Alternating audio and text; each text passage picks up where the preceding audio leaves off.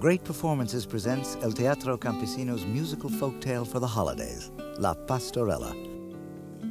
A fantastical retelling of the story of a birth announced by angels to simple shepherds, who then must go through hell and back to get to the stable.